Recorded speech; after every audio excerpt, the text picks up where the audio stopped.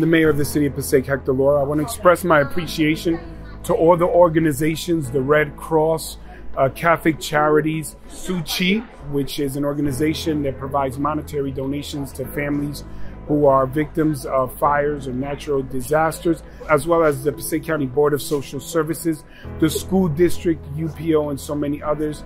And of course, our human services from City Hall. Uh, this is a resource fair where everyone is coming together to try to bring resources to the needs of those that were directly impacted. Hi, folks. Rosie Taravella here. I'm the proud CEO of the American Red Cross in New Jersey. We're here at Muhammad Ali School 23, the red zone of the school, uh, where we've been sheltering folks since the tragic fire in the city of Passaic on Friday. We're very, very proud to be working with a number of community partners to offer a resource center, giving people an opportunity to, to move into the next steps of their lives after having lost their residence. My name is Bill. I'm actually from Tzu Foundation.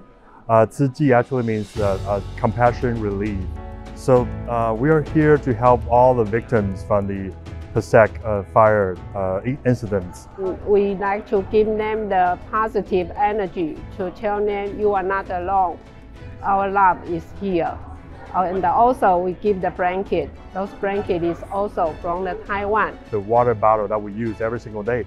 But we don't want to waste the, the, the resources, so we recycle everything and create this uh, gray blanket environmental blanket. My name is Ariel Alonso. I'm with Catholic Charities Diocese of Paterson. I'm the Community Emergency Support Director. We are here today to support the victims here in Passaic City from a recent fire. Our agency provides uh, assistance with linkage uh, and helping folks to relocate. Um, there are many families in need of uh, guidance in where to and how to apply for resources. I encourage you to donate to all of these organizations the Red Cross, Catholic Charities, organizations that really stand up to help families when they are in need, vulnerable individuals. Today, we're looking to try to help students, children that have lost so much, families that have lost so much. You know, when you already have very little and you lose so much, it becomes so concerning.